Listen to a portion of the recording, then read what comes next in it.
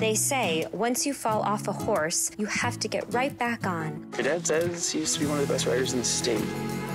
I've been waiting to meet you. I'm the new trainer. The best trainer in the whole state just happens to be your ex-husband.